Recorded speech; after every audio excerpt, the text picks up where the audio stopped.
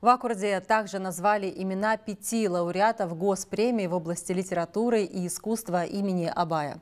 Ими стали писатели Светкали Нуржан и Кулбек Ергабек, а также художники Жанузак Мусапир, Алибай и Сауле Бапановы. Отмечу, прием заявок стартовал в январе. В шорт-лист попала 21 работа. При выборе оценивался вклад в развитие культуры Казахстана.